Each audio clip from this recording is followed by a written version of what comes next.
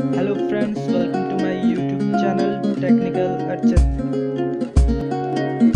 Today I will tell you about what is computer, invention and its type.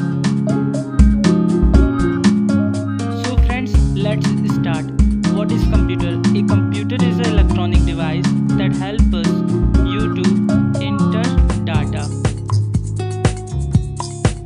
Here it comes abacus. We agreed that the first computer was abacus invented by William Oughtred in 1622. Next was the first computing device.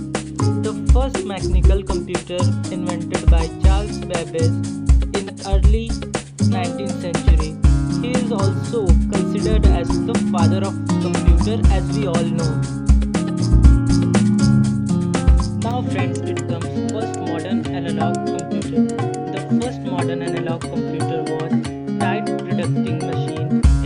By Sir William Thomson in 1872. Here we go. The first modern computer.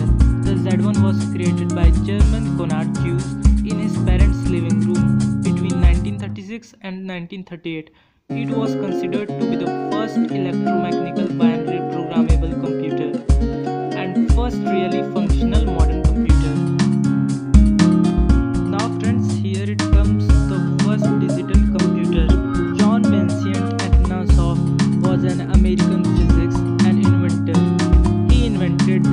electro-digital computer in the 1930s at Iowa State College. Now, the main five types of computer supercomputer, mainframe computer, mini computers, microcomputers, and mobile computers. Friends, please subscribe this channel and press on bell icon for notification